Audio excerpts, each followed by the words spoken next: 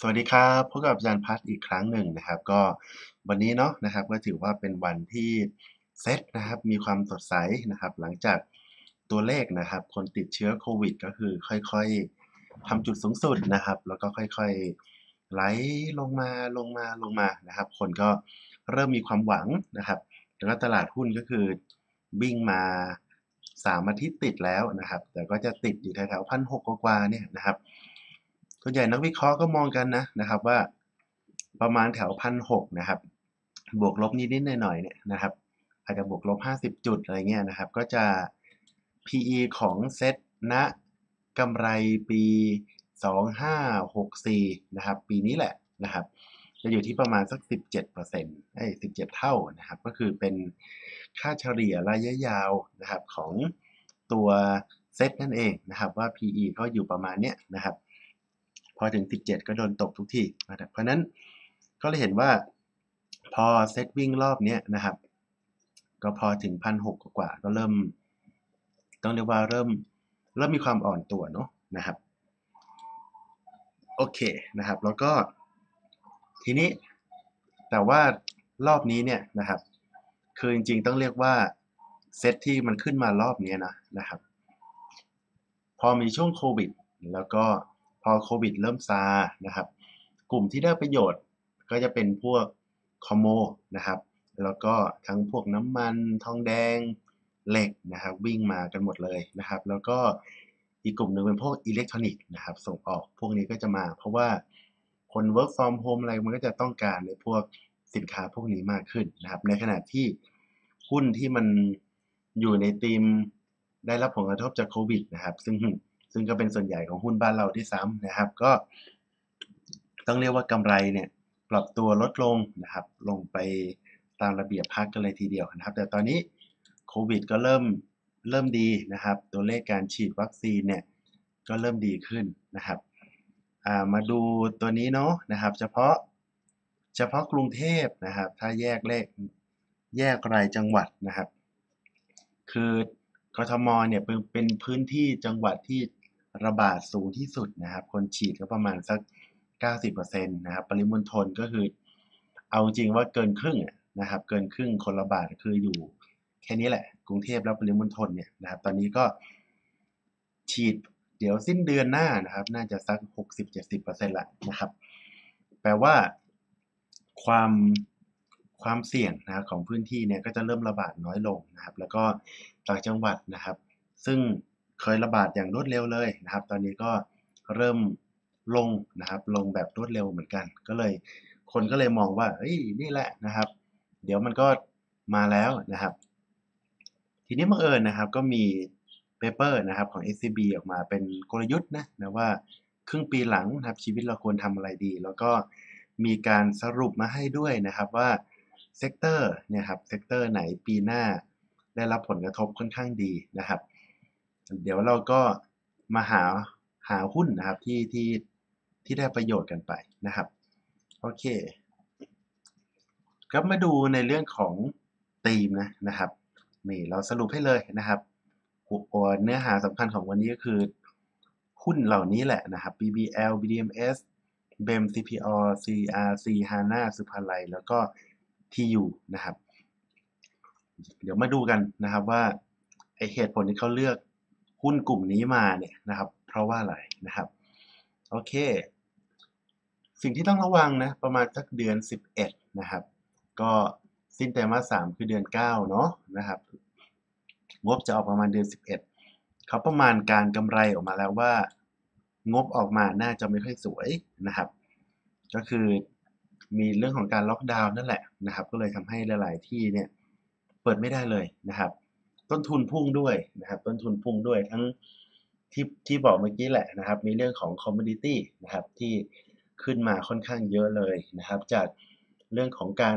เปิดเมืองผลิตสินค้าไม่ทันนะครับ ค่าขนส่งก็สูงนะครับเขาเลยบอกว่าเฮ้ยคุณระมัดระวังด้วยนะนะครับ เรื่องของต้นทุนด้วยนะครับ แล้วก็ เดี๋ยวหลังโควิดเนี่ยนะครับ บริษัทขนาดใหญ่นะครับ น่าจะ ฟื้นได้ไวกว่านะเพราะว่าเรื่องของความพร้อมความอะไรของเขานะครับ ทีนี้ แต่ว่าปีแล้วมันฐานต่ำใช่ไหมครับ P และหารต่ำเพราะนั้นการที่เราจะแบบปรับกำไรเพิ่มอีกนะครับ ก็มีน้อยนะครับ เมื่อกี้พูดถึงคอมโมนะครับ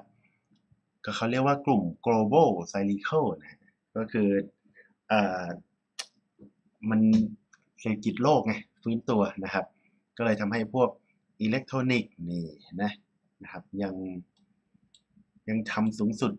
นี่ครับแต่ว่าเขาก็ยังมองนะว่าพวกอิเล็กทรอนิกส์เนี่ยก็ยังพอพอไปได้นะครับอ่าเขาก็เลยมา domestic นะครับ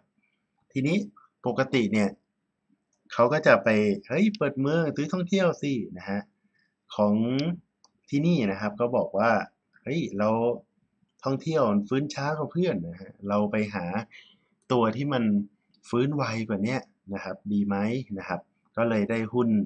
ทีมที่แนะนำข้างบนเมื่อกี้นะครับโอเค แล้วก็ไปหาหุ้นที่มีอำนาจในการกำหนดราคานะครับ สูงกว่าเพื่อนหน่อยนะครับโอเคนี่เขาก็จะไล่มานะครับว่าจริงๆแล้วนะครับกำไรที่มันโตเนี่ยนะครับ โตมาจาก อะไรนะครับโตมาจากอะไรก็หลักก็คือรายได้โตนะครับ แล้วก็มาจิ้นนะครับ มีการเติบโตด้วยนะครับไอ้หุ้นที่แล้วว่านูโตเฉยๆมาจิ้นโตเฉยๆจริงๆก็มีอยู่ไม่ไม่เยอะนะครับ เพราะนั้นกำไรที่มันโตแบบมีเรื่องของการผสมกันนะครับ ก็จะมาเยอะกว่านะครับ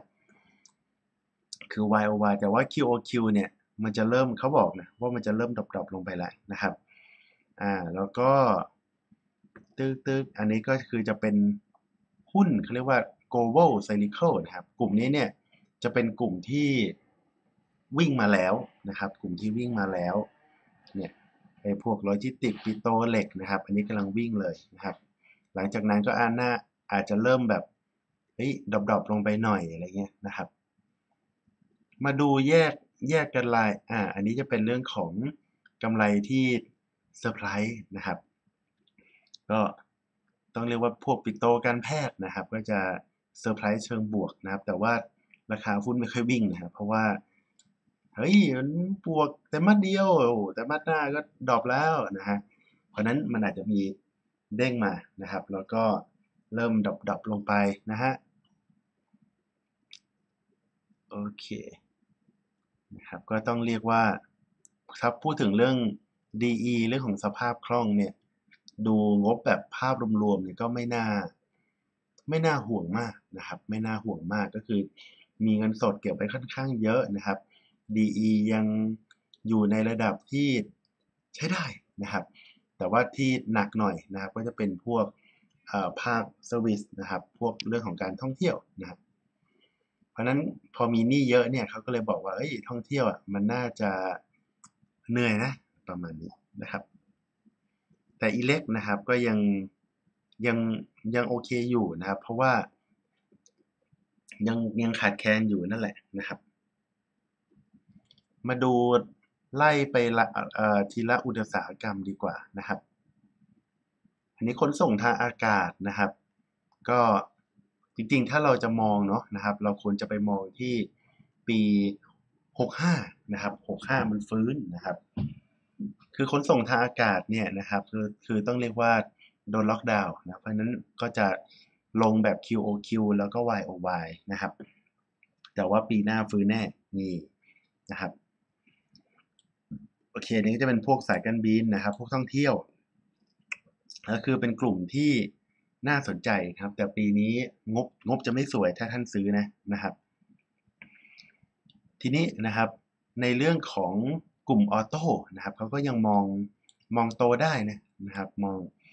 มองโตได้ แต่ว่าถ้าพูดถึงไตรมาสต่อไตรมาสเนี่ยก็คือยังเซมเซมนะครับ ก็ไม่ได้อะไรกันขนาดนั้นเท่าไหร่นะครับ แต่ว่าเขาให้กังวลนะถ้าเกิดชิปมันขาดมากขึ้นเนี่ย มันอาจจะผลิตไม่ได้ตามแผนนะครับธนาคารนะครับก็ยังฟื้นอยู่นะครับ ถ้าจำได้เนาะอาทิตย์ที่แล้วนี่แบบธนาคารกลุ่มแบงค์เนี่ยวิ่งกันแบบกระจุยกระจายเลยนะครับ ก็คือเรื่องของที่เขาให้ปรับลดเเงินเงินส่งเข้ากองทุนนะครับ FIDF ก็คือเป็นกองทุนที่มีมาตั้งแต่ปี 40 นะครับ แล้วพอปรับลดลงตรงนี้นะครับ มันก็เลยทำให้ ตัวค่านิมหรือว่าค่าส่วนต่างดอกเบี้ยนะนะครับ มันมันดีขึ้นนะครับกำไรก็เลยเริ่มฟื้นตัวนะครับอ่า YOY ก็ฟื้นนะนะครับ แต่ว่าไตรมาสเนี่ยอาจจะมีการดรอปนะครับดรอป QOQ ไปหน่อย แต่ YOY ก็คือฐานต่ำนะครับพาณิชย์นะครับพาณิชย์ก็คือคล้ายๆกันนะครับพาณิชย์คล้าย ๆกัน ก็เละฮะเพราะว่าโดนล็อกดาวน์นะครับ เดี๋ยว ปีหน้าก็ฟื้นนะครับอ่อไอตัวที่ปีหน้าไม่ฟื้นเนี่ยนะครับ อันนี้ใครมีก็ต้องก็ต้องระมัดระวังแล้วนะนะครับ โอเคเนี่ยพอ คือให้นึกภาพนะกระเบื้องนะครับทำปูนทำอะไรพวกเนี้ยมันจะต้องใช้พลังงานค่อนข้างเยอะนะครับ อย่างโรงงานปูนเนี่ยโอ้โหเผาถ่านหินเผาอะไรกันเยอะแยะมากมายนะครับ บางโรงก็ใช้ก๊าซธรรมชาตินะครับ เพราะนั้นพอน้ำมันขึ้นอะไรขึ้นเนี่ยกำไรของกลุ่มนี้มันอาจจะไม่ค่อยไม่ค่อยดีนักนะครับโอเคเนี่ยเพราะนั้นกลุ่มนี้นะครับไอ้พวกกำไรลงๆเนี่ยให้ระมัดระวังนะครับ แต่กลุ่มนี้แกร่งจริง ๆนะครับ คือต้องเรียกว่าโควิดล็อกดาวน์แทบจะไม่มีผลนะครับ เติบโตแข็งแกร่งเลย กลุ่มอิเล็กนะ ก็โตทั้ง QOQ YOY ปีหน้าโตต่อเยี่ยม ลังงานฮะพลังงานนะครับพลังงานเนี่ยนะครับต้องเรียกว่าปีที่แล้วเนี่ยแทบจะของขาดนะปีที่แล้วแทบจะของขาด แต่ว่าปีหน้านะครับกำไรก็จะเริ่มดับดับลงไปนะครับนี่ฮะกำไรของน้ำมันและก๊าซกลับสู่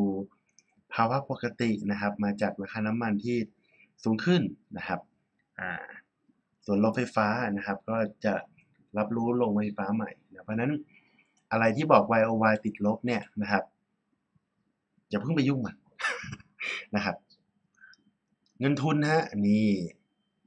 อ่าก็ Q3 จะมีดับดอบลงไปหน่อย QOQ นะครับ แล้วก็ปีหน้าฟื้นนะครับ เพราะนั้น คือปีนี้นะครับ อาจจะมีเรื่อง NPL เรื่องอะไรกดนะครับ ปีหน้าปีหน้าเขากลับมานะครับ อาหารอาหารจริงต้องมองเป็น มองเป็นรายตัวนะครับ เพราะว่าสินค้าแทบจะไม่เหมือนกันเลยนะครับ แทบจะไม่เหมือนกันเลย ก็เนี่ยมีทรงๆฟื้นๆนะครับส่วนใหญ่ก็เกี่ยวกับพวกเกษตรนั่นแหละนะครับ ที่มันจะผสมกันนะครับ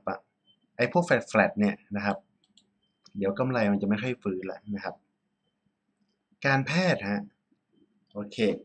การแพทย์นี่ผมมองเป็นสองส่วนเขาใช้คำว่า mix นะครับ ก็คือเนี่ยเวลาเรามองอะเรามองไปปีหน้าแล้วนะฮะกลุ่มแรกเนี่ยนะครับจะเป็นกลุ่มที่ได้ประโยชน์จากโควิดนะครับ ไปเปิดฮอตพิเทลเปิดอะไรเยอะเลยนะครับสองสองตัวบนนะครับนี่ส่วนสองตัวล่างนะครับ ก็จะเป็นกลุ่มที่โควิดเนี่ยไม่ค่อยได้ประโยชน์นะเพราะว่าเขาลูกค้าต่างประเทศหาย BDMs BH นะครับอ่าเพราะนั้น แปลว่าถ้าถ้าเราอยากลงทุนกลุ่มนี้นะครับ เราก็ไปหาตัวนี้ดีกว่านะครับ โรงแรมฮะนี่ปีหน้าก็เริ่มฟื้นแหละ แต่ว่าถ้าเทียบกับกลุ่มก่อนหน้าที่อ่านมาเนี่ยนะครับ ก็คืออาจจะฟื้นช้านะครับ คิดดูนะกว่าจะเปิดเมืองกว่าจะฉีดวัคซีนครบทั้งโลก กว่าคนจะเดินทางกันได้ โอ้ยนะใช้เวลานานเลย นะครับ เราก็ของเจ้าเนี้ยนะครับ ก็เลยมองมองมองช้าหน่อยนะครับเขามองไปนู้นน่ะครึ่งปีหลังปีหกห้านะครับ เพราะนั้นโรงแรมก็คือจะเป็นกลุ่มที่ฟื้นช้าที่สุดนะครับ ICT นะครับ โอ้โห รู้สึกแต่มาสนี้ไม่ค่อยดี แต่ว่าปีหน้านะครับ ปีหน้าจะเริ่มดีนะครับ ดีจากอะไรนะครับ ก็คือจากคนใช้ 5G เพิ่มขึ้นนะครับ แล้วก็เดี๋ยวพอเศรษฐกิจฟื้นนะครับ พวกรายได้ภาคองค์กร พวกอะไรพวกนี้ก็จะเริ่มฟื้นตัวนะครับ ประกันนะครับเขาก็มองว่าเริ่มฟื้นตัวเหมือนกันนะครับ ขนส่งทางบกนะขนส่งทางบกตึกตึกตึกตึกอ่าอันนี้เขาจะเป็นมองพวกรถไฟฟ้าพวกอะไรพวกนี้นะครับ จะเป็นคนละอันกับโลจิสติกนะฮะเนี่ยรู้สึกก็จะเน้นเรื่องล็อกดาวน์เรื่องอะไรอันนี้จะเป็นพวก BEM นะนะครับ ฟื้นนะ ปิโตรฮะไตรมาสนี้เริ่ม drop นะปีหน้าเริ่ม drop ถามว่ามาจากอะไรนะครับก็คือเอ่อต้องเรียกว่าสเปรดนะครับ ก็จะเริ่มดรอปลงนะครับ แล้วก็เอ่อต้องเรียกว่า เดี๋ยวจะจะมีโรงงานใหม่นะครับเข้ามาก็จะดรอปๆลงไปหน่อย แล้วก็อสังหานะครับก็จะเริ่มฟื้นได้ด้วยเหมือนกันนะครับ ด้วยอ่าอันนี้อันหนึ่งก็คือเรื่องของ global play นะครับเขาบอกว่าทำจุดสูงสุดไปแล้วนะฮะนี่ domestic นะฮะก็คือเชื่อว่าน่าจะทำจุดต่ำสุดไปแล้วเหมือนกันนะเพราะนั้น จริง ๆ ถ้าสายโหดนะก็คือเปิดช็อตเปิดช็อตพวก Go global play นะครับ แล้วก็เปิด long เปิดสถานะ long long พวก domestic นะครับ ถ้าเราทายถูกเราจะได้กำไรสองขานะครับ ก็คือเราจะได้กำไรจาก short ตรงนี้นะครับได้จาก long ตรงนี้นะครับ ก็ อืมไม่ง่ายเลยนะครับอะมาที่หุ้นเด่นกันดีกว่านะครับ ก็คือ เขาบอกเน้นธีมเปิดเมืองแหละนะครับ BBL นะครับทำกันบ้านมาแล้วนะครับก็ก็คือปีที่แล้วนะมันมีฐาน